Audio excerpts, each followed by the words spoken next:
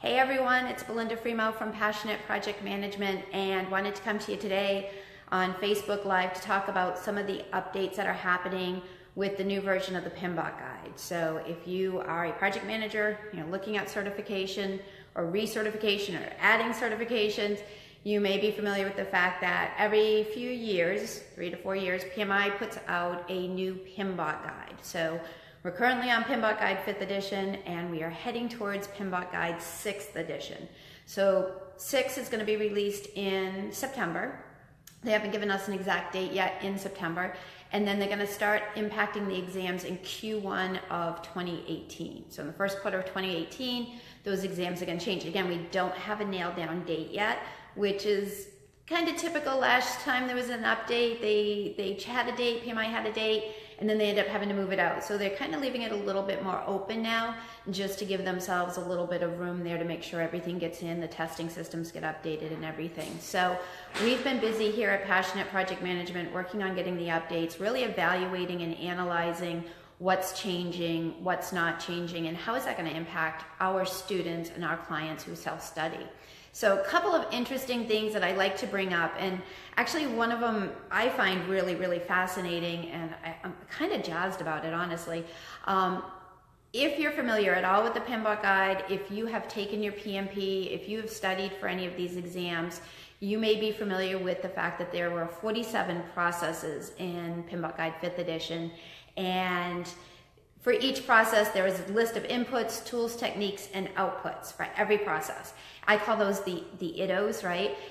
Everybody hates ITOs. Everybody hates ITOs. And one thing is people get really, really stressed because there's literally hundreds of them that people are trying to memorize to get ready for their exam.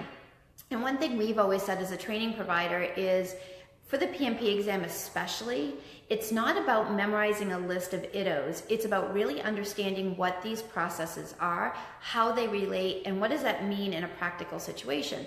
A lot of the questions that you get on the PMP exam are scenario-based questions. So if you have a list of IDOs memorized, that's not going to help you work through a scenario question. And that's where we're, I think, very different from a lot of the training providers out there, a lot of the advice out there. Just memorize the ITOs, just read the PMBOK, you'll be fine. Um, so in fifth edition, we saw lots and lots and lots of ITOs, right? Well, here's the big exciting change for sixth edition. The list of ITOs have gone from being very specific to now being more generic. And what I mean by that is in the past, fifth edition, we would see, for example, a list of inputs being activity attributes, activity list, milestone list, risk register, stakeholder register. You know, they call all these things out separately.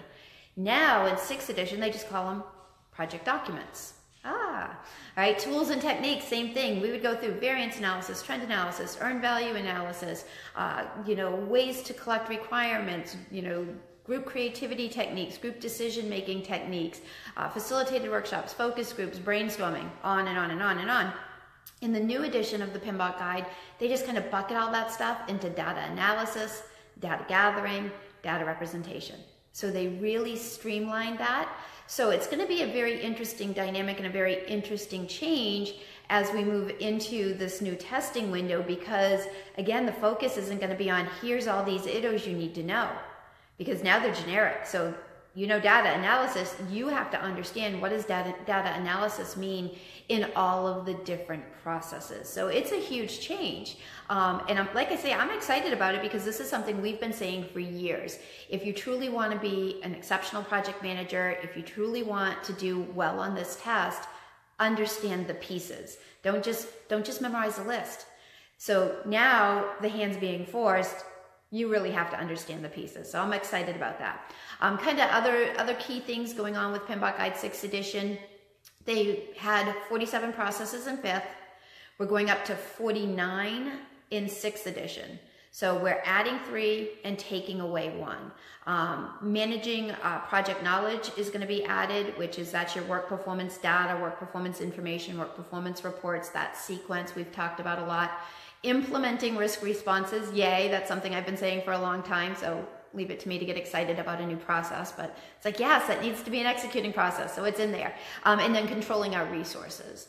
Uh, one of the knowledge areas has also changed. So it used to be human resource management, it's now just resource management. um, and they got rid of the closed procurements process. So that's kind of the net net at the at the macro level of the 47 processes. Again, going to 49, adding three, taking away one.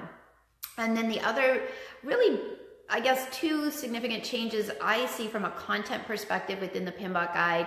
One, you're bringing in a lot more agile approaches, agile techniques, references to agile. So it's not, you know, an agile book of knowledge by any by any means. It's not a, you know, detailed on how do you do agile projects, but there certainly is a lot of cross reference now, which is a great acknowledgement that for a lot of organizations, they're using not only traditional or you know waterfall project management or um, even iterative project management. They're dabbling, if not fully integrated, into agile approaches. So there's a lot of reference to that. And then there's also a lot of reference to um, emotional intelligence, the leadership and management skills of a project manager. Again, really seeing that evolution of a PM moving from being a task manager to actually being a, a leader, a thought leader, a manager, you know, somebody who has kind of that higher level strategic view. And so we really see that big emphasis on that. So that's really exciting. So all in all, I have to give the PMBOK Guide 6th edition two thumbs up. Um, impressed with the changes. They took a ton of feedback in. Um, you can tell that they incorporated it. So it'll be exciting. And again, I'm using a test preview version right now that we get as a registered education provider. It's going to be launched to the market in September. Now, a couple little add-on pieces here. If you are preparing for your exam, you want to sit for your PMP, you want to sit for your CAPM, your RMP, your risk management, um, your scheduling professional, all of those that leverage the PMBOK guide. Number one, know your window. So if you've been studying fifth edition, your clock's ticking. All right, you want to get in. Now, this happens every time that there's a change that there's this mad rush to get in and take your exam. Everybody wants to get it done before there's an exam change.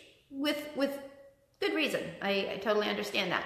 So if you are studying on fifth edition, get going. Get your butt in gear, get your date on the calendar, and don't make your date like, oh, December 31st. Because we don't know when in Q1 they're going to change, and I know those test seats at the Prometric locations are going to fill up. Right? So don't just oh, I'll just put it off and I'll book it at the end of the year. I would say I would push for probably in October, maybe November type timeline for that um, at the at the latest, kind of putting yourself out there, and that's plenty of time to study and prepare. So that's the one thing I would say.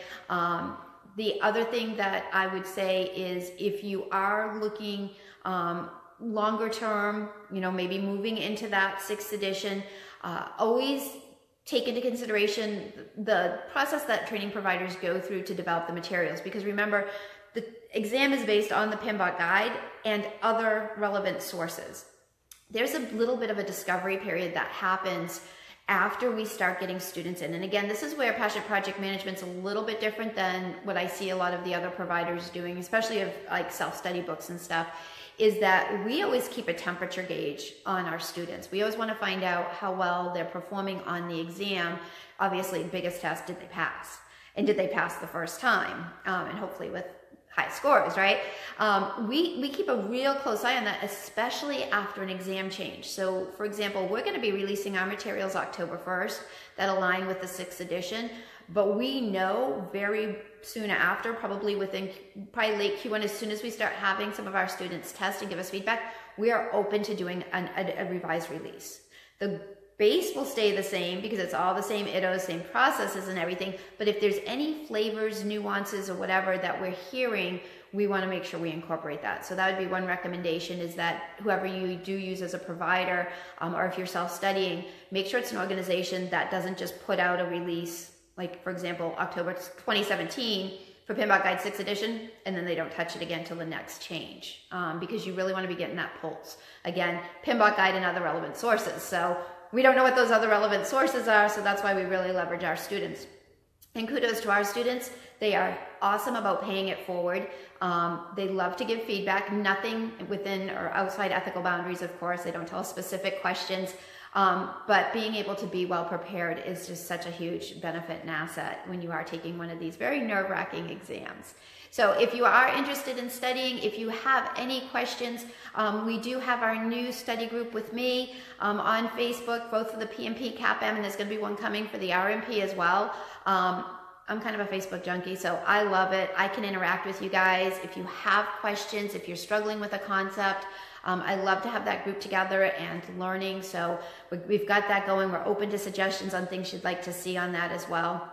So join our Facebook groups. Um, also check out our site. We've got the application assistance spreadsheet out there if you're working on your PMP application that can streamline it. We also just published our PMP Quick Start Guide that walks you through the entire application process, what you need to know about that, the timelines and everything, all those tips. We have our flashcards out there on Amazon, both hard copy and Kindle. And there is a lot of really, really cool stuff that's being launched on 10.1 for 6th edition. I'm not to like ruin the secrets right now. I got to keep you guys excited and anticipated, but we've got some really, really good stuff coming, including our study guide. So excited. So that's it for me, Belinda Fremouw. Again, any questions you have, I'm happy to answer those. So please um, respond to this video. You can put your comments or questions on there and I'm happy to answer. Again, look, look for you in those study groups. Um, best of luck. There'll be more updates coming as we dig in a little bit further on the PMBOK Guide 6th edition. Everybody have a great day. Have a great weekend.